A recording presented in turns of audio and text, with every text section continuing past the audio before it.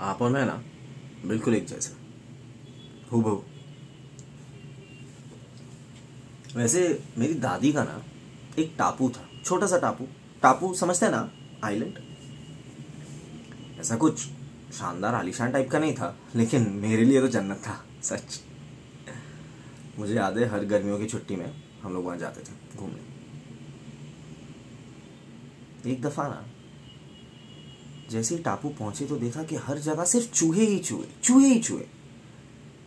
मैं घबरा गया, छोटा भी था।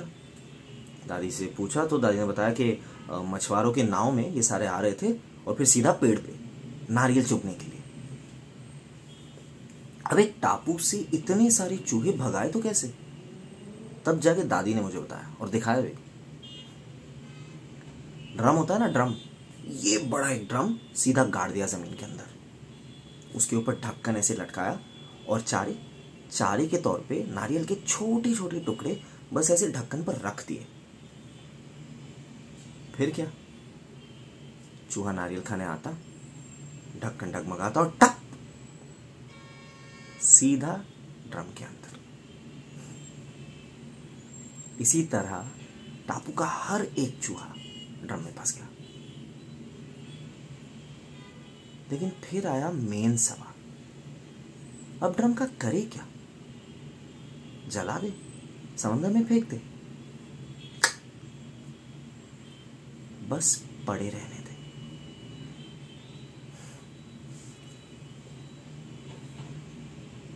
चूहों की भूख ना बहुत ज़्यादा होती है। यही भूख बढ़ने लगी। उनकी खुराक मिटाने ये सारे चूहे एक एक करके एक दूसरे को खाने लगे। तब तक जब तक ड्रम में सिर्फ़ खून, मांस और दो चूहे बाकी थे। और अब आया ये सवाल, इन दोनों का क्या करें? मार दे? इन्हें छोड़ दिया पेड़ों के सामने।